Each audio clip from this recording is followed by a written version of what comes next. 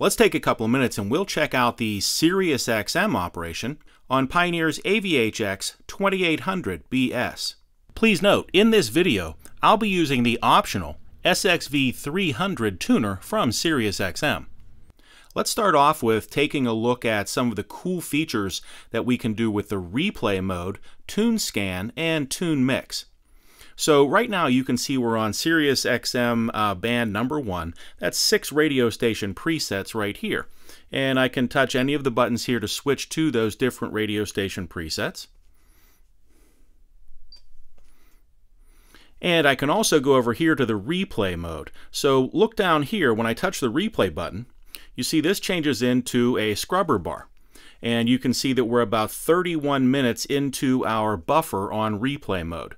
So right now, uh, I can touch the scrubber bar and I can drag this back to a different part of the song or a different song completely. Or I can drag this a little bit forward again if I want, wherever I want to be.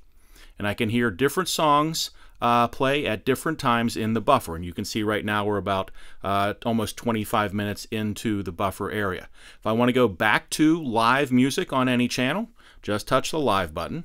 And that switches me back to that same channel and the live broadcast. Let's check out Tune Scan and Tune Mix. So let me touch my buffer again. I'll look at my replay. You can see that right now I've got about 35 minutes in the buffer.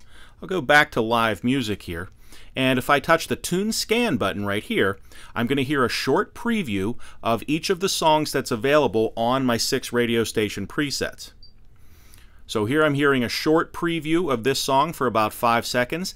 Then it will jump back in time in the buffer and let me hear a short preview of the next song that's available.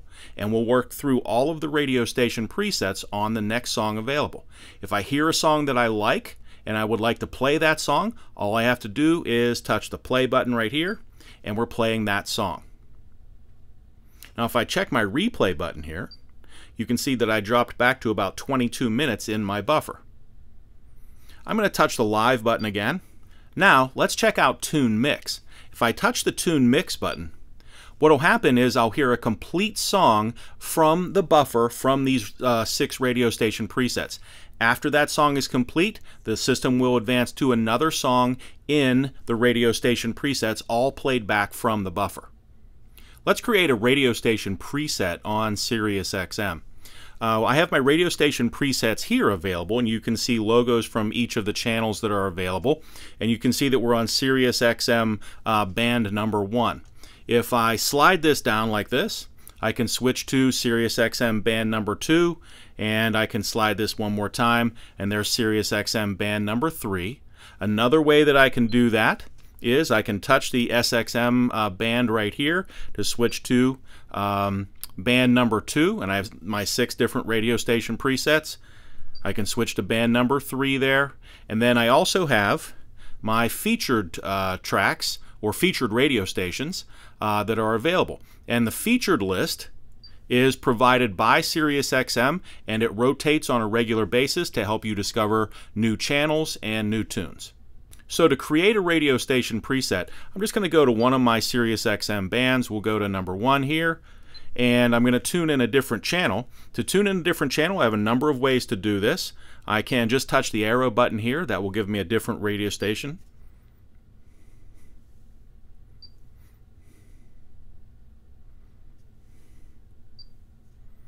Or I can touch the, cha the channel number itself and open up a keypad and I can put in a number, for example 24, and hit enter to go directly to 24. I can open the search button over here and I can choose a category.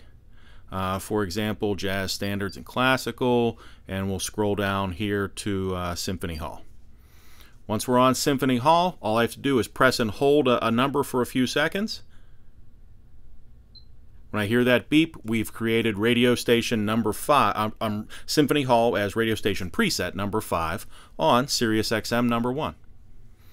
Over here is my traffic and weather information. If I touch that, I have no city selected right now for traffic and weather, so we can scroll down here and look for a city for me. I want to have Pittsburgh on my list, so I'll hit the X here.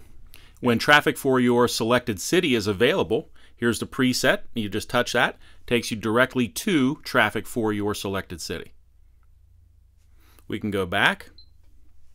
Let's check out some of SiriusXM's settings. We'll touch the uh, gears up here, and we want to go to the toolbox and then AV source settings. Let's scroll down here until we find the SiriusXM settings and press enter. Here we can have Tune Start turned off or on, and Tune Start means that every time you touch one of your radio station presets, uh, the song will start from the beginning after you've had your car running for 5 or 10 minutes or so on the SiriusXM source. Every time you touch one of your radio station presets, that song will start from the beginning. Uh, SiriusXM has uh, adult content. If you would like to lock that content out so uh, certain people can't hear it, you can put in a parental lock and you can lock certain channels out of SiriusXM. The featured favorites on the fourth band is available. We can switch that on or off here if we want. And we can have a message available to us when the uh, SiriusXM programs have changed on the favorites we can be uh, updated and let us know that that has changed. Sports Flash here is on or off. With Sports Flash, you can get information about your favorite teams. And here we can select the different cities that we'd like to have information about. We'll go back up. Next here we see SiriusXM Reset, and you can see that that is grayed out. If at any time you need to reset your SiriusXM tuner back to its factory defaults, you can do that by switching the, the uh, SiriusXM source off. So we're going to go to a different source, for example, HD radio. Let's touch the gears, and we'll go to our AV source settings and then SiriusXM settings. If we scroll down to the bottom, you see SiriusXM reset, and if I touch restore, this will take the tuner back to its factory settings. We'll hit the X to escape and go back to SiriusXM.